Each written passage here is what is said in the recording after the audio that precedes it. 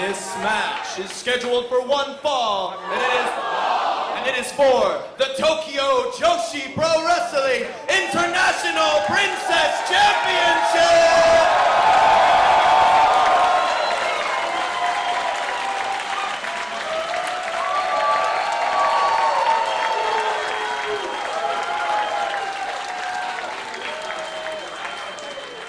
Challenger no Shokai フォンタナ、カリフォルニアから彼女は HBIC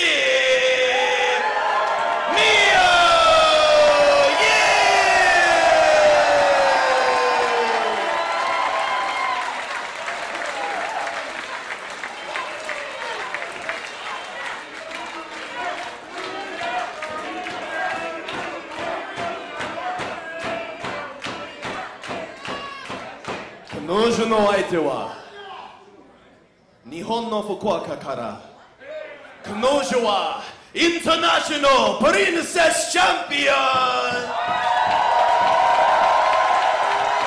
女子プロレス新時代のカリスマ伊藤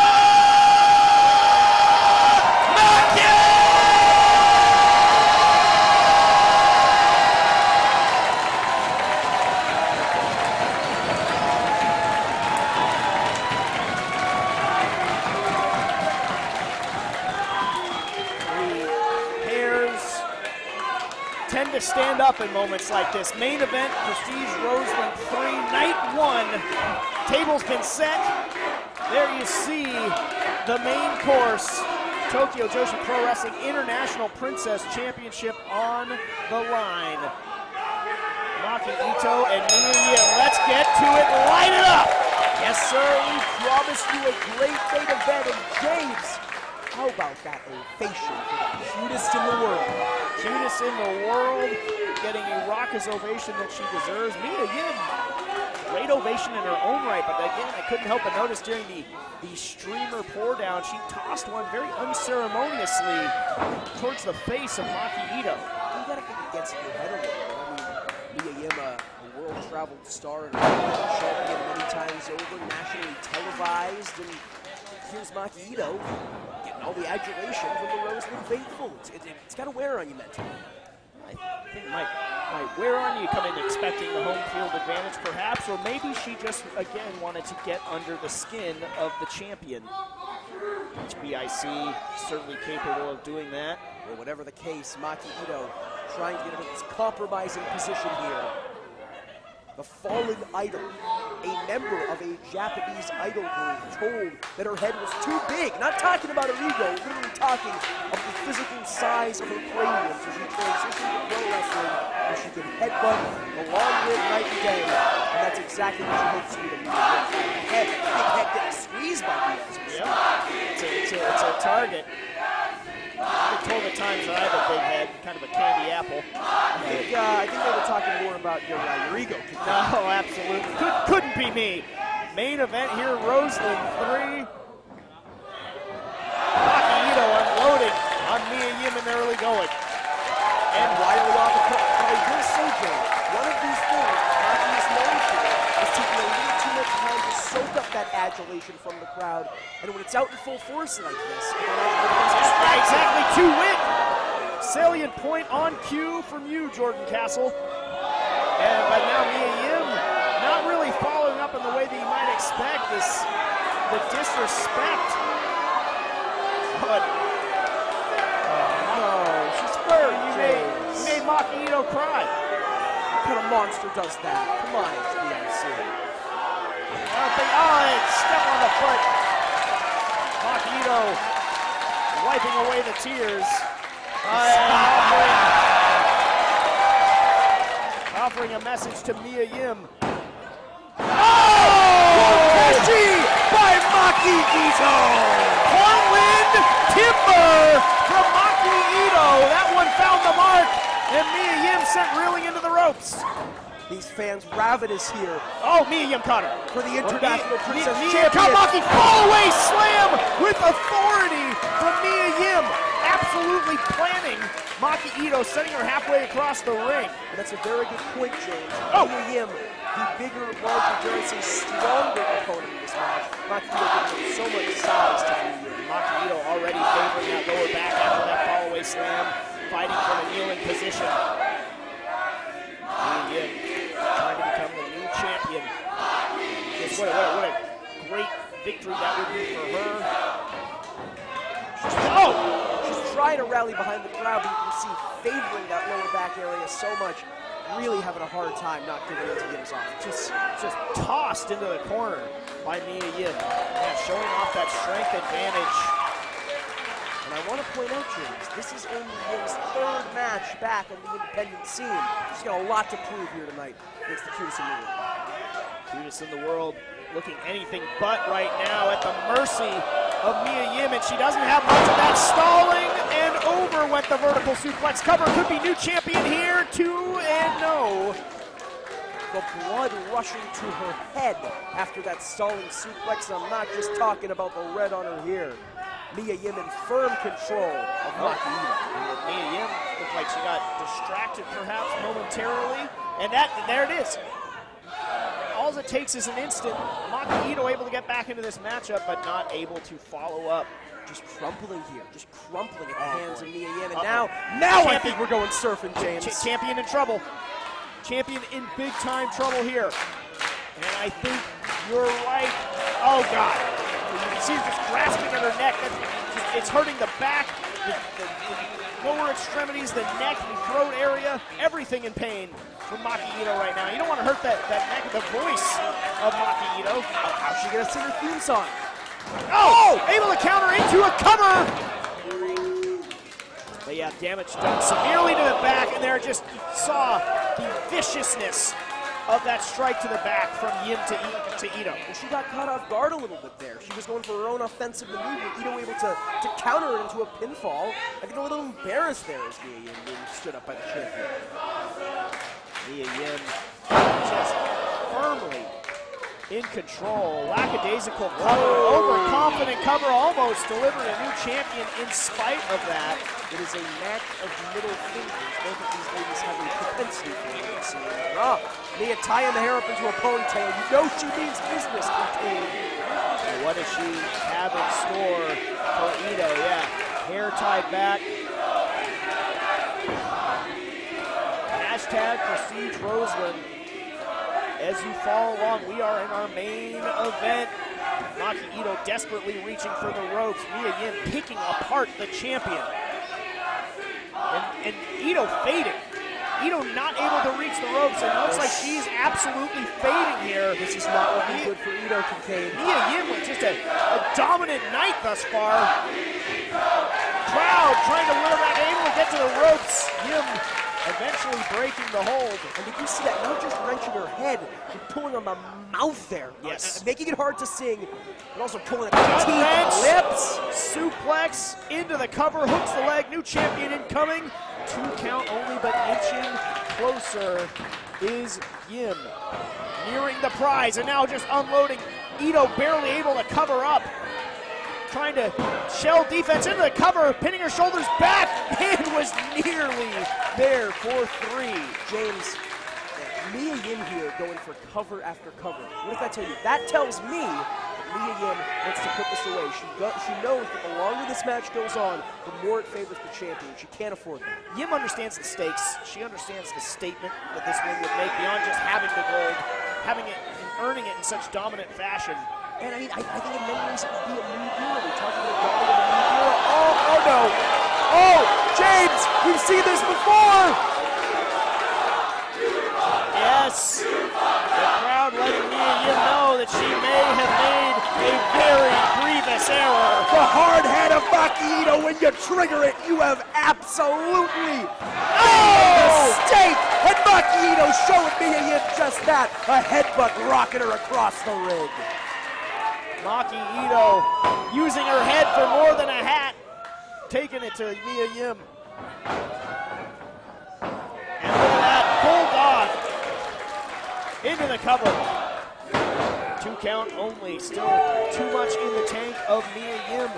But the pendulum of momentum has swung back into the favor of the champion. Not since the early going have we seen this much life from Maki Itoh. That big head into the turnbuckle did it. Mia Yim with her own Achilles heel. Saying tornado DDT, perhaps. Can she connect? Around the world! Spiked her! Into the cover, deep hook. Two count only. Itoh not able to retain, not yet. But she's firing up and she's got the crowd behind her. Maki Ito on a roll. Oh! Yim able to get that right leg up and connect with the forehead. Not sure how much damage it did. But did you see that, James? Mia Yim trying to trying to beat some uh, some blood Oh, back into her leg there. Coming! She's favoring it, but it might not matter. Cover! New champion on the way! No.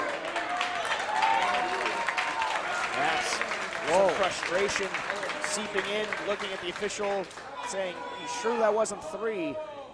But disrespect of Mia Yim here, just smacking away at the braids of Maki Itoh. Smacking away at the chest now is the HBIC. No! Itoh able to counter and able to apply a sleeper hold. Hoping to put the HBIC asleep. But does Itoh have enough strength? Middle finger for good measure. And the lights dimming and backbreaker. Modified out of that sleeper.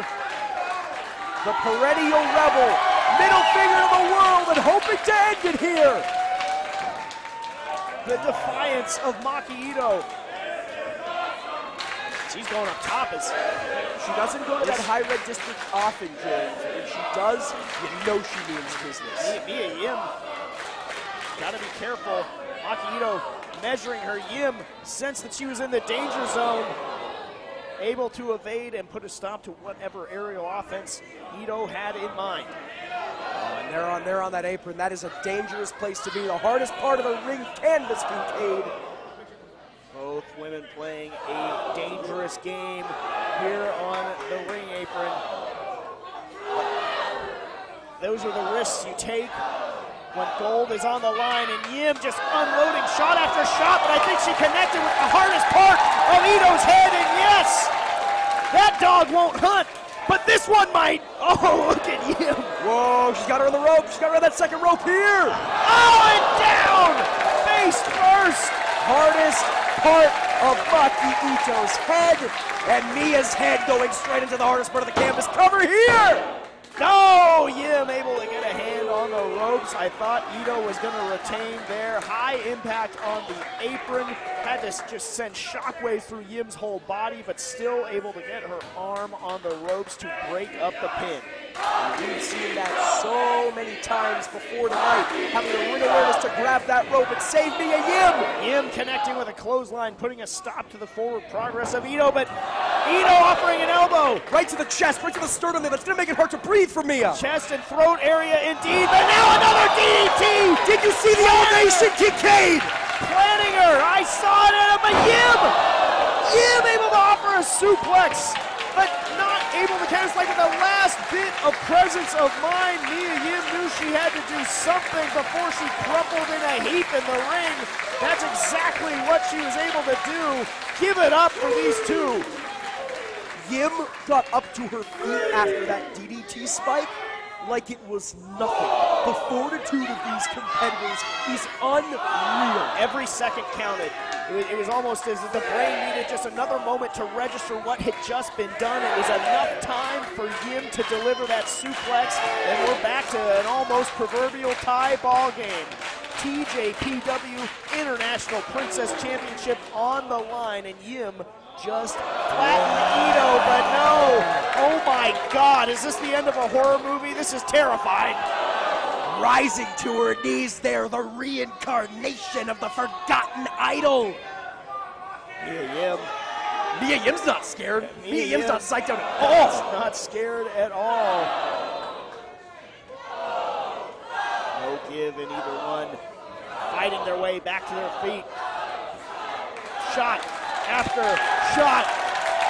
James, these athletes know what the Tokyo Joshi Pro International Princess Championship means, and they are not going quietly into the night. And Maki Itoh again using, dare I say, a well-educated head to Mia Yim. And looking, looking once again Another DDT variety. Tilt whirl! And down! Champion will retain here. You gotta believe it. No. Mia Yim refusing to keep her shoulder down for three. Frustration on. What does she have to do? This is awesome. I must concur with the crowd here at the Roseland Theater as Maki Itoh using their energy to fire back up. We've heard about a second win. I feel like with these ladies, we've seen a third, fourth, fifth, dare I say sixth win. And once again, Maki Itoh didn't get it before, heading back up top. High risk. What does she have in store Maybe- for Mia Yim? Measuring her. Maybe Gotta high reward. careful. Could be. No, took too much time. Mia Yim. Nobody at the bottom of the well for Maki Itoh. Mia Yim able to avert disaster there and now could be set up to become new champion. Suplex into the bridge. New champion. No! Three was coming down. It was imminent. Referee says no. Maki cannot return back to the land of the rising sun without that championship. She knows what that would mean for her. She knows what that would mean for her stance in TJPW. It's too important to her. She's not giving up. If Mia Yim has anything to say about it, though. It'll be a long, lonely, sad night flight home for Maki Itoh. But I want to point out that Maki. Oh! oh! The defiance! Staggering to her feet, not able to offer any offense other than just being literally as defiant as can be. I mean, that gesture is offensive, but not the offense she's looking for. And let me Yim for the package pile driver here. Package pile driver, no, Maki Itoh knew that would have spelled the end of her championship. Shotgun drop kick from Mia Yim. like a bullet straight to the chest. Dare I say, two of them with both feet and a big boot to follow it up. Here we go, Mia Yim getting ever closer. This is not a good place to be. This is not where you want to be with your Maki Itoh. Only dangerous things happen here, Kincaid. Oh, now not one but two for Maki Itoh from Yim. You get a middle finger counter on the screen? Goodness Oh, she's biting him. You'll pull back a stump if you're not careful, Mia Yim. Maki Itoh now using that head. It's a theme. Yamashita with Masha's feet earlier. Now mitten, now Falling. Mia Yim is in the drop zone. Mia Yim is in the danger zone. Maki Itoh's in the pilot seat. Headbutt flying on down. Will she retain? She does. Maki Itoh wins.